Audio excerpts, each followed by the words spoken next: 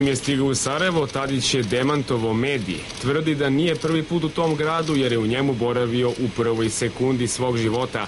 Danas boravak izgleda mnogo drugačije jer su ga na aerodromu u Sarajevu, ali i ispred konaka, zdanju u kome je razgovarao sa članovima predsjedništva BiH, dočekali uz najviše državne i vojne počasti. Svojim domaćinima Tadić između ostalog poručio da se podrška Srbije integritetu BiH ne zastiva samo na rečima jer se dokazuje i u praksi. Mi smo prirodno povezane zemlje i prirodno povezani narodi.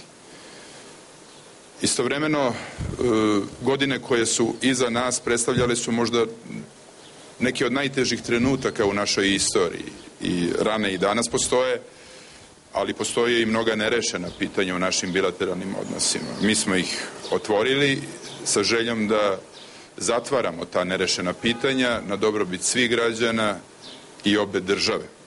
Tadić je i kako kaže ponosan kada ga napadaju zbog povrđanja politike regionalne saradnje. Nema razlike da li to rade navijači ili intelektualci. Što se tiče epiteta izdajnik, sa njim sam se suočavao mnogo puta u svome životu i, i u Srbiji i u Bosni i Hercegovini i u Republici Srpskoj i u drugim državama i uprkos tome uvek sam na određeni način uspeo da pridobijem podršku većine građana i uprkos takvom epitetu to mi govori da su ipak i neka konkretna dela koja koriste većini građana iza mene i trudit ću se da ih kreiram i u budućnosti. Predsedavajući predsjedništva BiH Tadić je označio kao prijatelja te zemlje, dodavši da poseta predstavlja krunu razvitka do sadašnjih odnosa.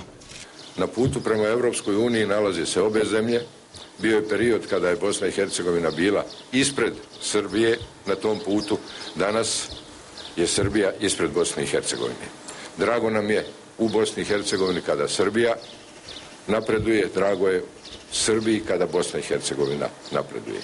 Naš zaključak jeste da je potrebno što je moguće prije napraviti krupne korake prema Evropskoj uniji, ali to ne zavisi samo od ove dvije zemlje, zavisi i od Evropske unije. Na stolu tokom obraćanja medijima našli su se i ratni zločini, pa je predsjednik Srbija rekao da lično ima velike rezerve i distancu prema svima koji su optuženi da su izvršili ratne zločine. Podsjetio je da je u vreme kada su se ti zločini dešavali bio profesor psihologije, ali i da niko nije kriv dok sud to ne utvrdi. To ne važi samo za Divjaka, Ganića i Jurišića, već moram da kažem i za Mladića, Karadžića i sve ostale za koje su sudski procesi u toku, rekao je Tadić.